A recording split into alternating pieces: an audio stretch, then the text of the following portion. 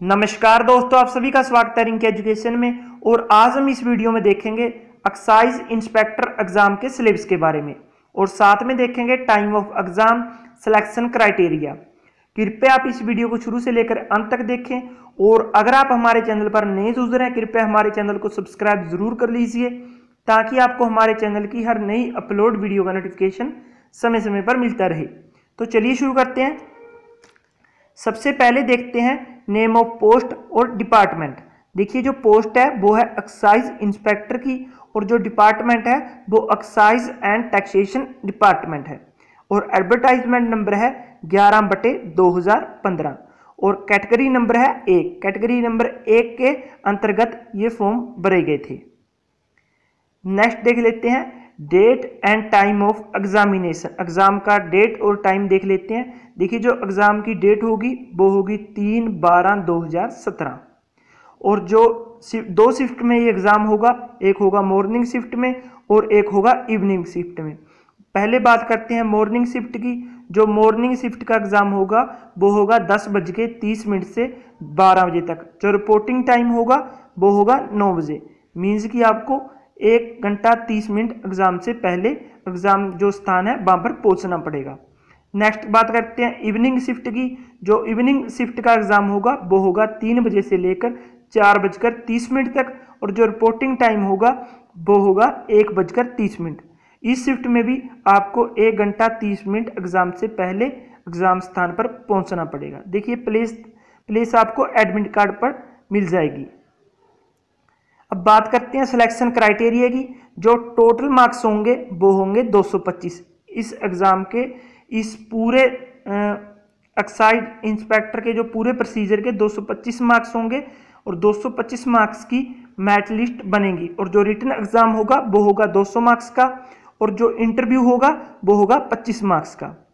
अब देखते हैं एग्ज़ाम के बारे में। एग्ज़ाम में 100 एम क्वेश्चन पूछे जाएँगे। मल्टीपल चॉइस क्वेश्चन और इसके लिए आपको 90 मिनट मिलेंगे और एग्ज़ाम डिवाइड होगा टू पोर्शन में। दो पोर्शन में एग्ज़ाम डिवाइड होगा, एक होगा 75 75 परसेंट पोर्शन में और एक होगा 25 पोर्शन में। एक में मिलेगा आपको 75 परसेंट बेटेज और एक में मिलेगा आपको 25 परसेंट बेटेज अब बात करते हैं 75 परसेंट बेटेज है किसके लिए general awareness reasoning math, science, English, Hindi और रेलिवेंट सब्जेक्ट रेलिवेंट क्वेश्चन के लिए। देखिए, जो जर्नल अवेयरेंस से सबसे ज़्यादा क्वेश्चन आएँगे और रीजनिंग और मैथ से सात सात आठ आठ क्वेश्चन आने की पूरी संभावना है और साइंस से भी आठ नौ क्वेश्चन पूछे जाने की संभावना है और इंग्लिश से सात क्वेश्चन और हिंदी से सात क्वेश्चन पूछे जाने की संभावना है। अगर हम टैक्सेशन इंस्पेक्टर की जो पिछले एग्ज़ाम की तुलना में देखें तो। और सब्जेक्ट रेलिवेंट क्वेश्चन भी पूछे जाते हैं। पाँच, छह क्वेश्चन सब्जेक्ट रेलिवेंट पूछे जाते हैं। अब बात करते हैं 25 परसेंट बेटेज की। देखिए 25 परसेंट मार्क्स का जो काम आएगा, वो आएगा हरियाणा जीके से।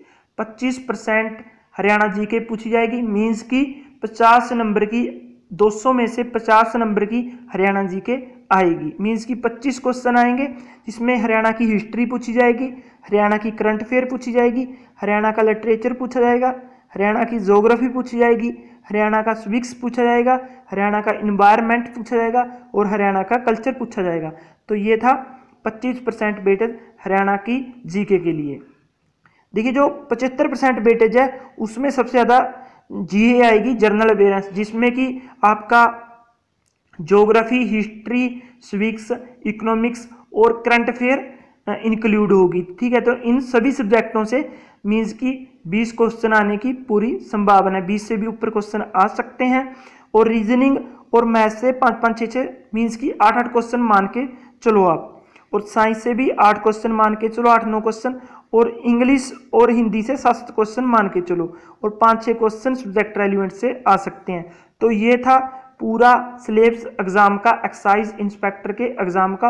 अगर आपको हमारी यह वीडियो पसंद आए तो इसे लाइक ज़रूर करें। और अगर आपने अभी तक हमारे यूट्यूब चैनल को सब्सक्राइब नहीं किया तो नीचे रेड कलर है, रेड कलर का बटन मिल जाएगा आपको, उसको प्रेस करके आप हमारे चैनल को सब्सक्राइब कर सकते हो। तो धन्यवाद दोस्तों।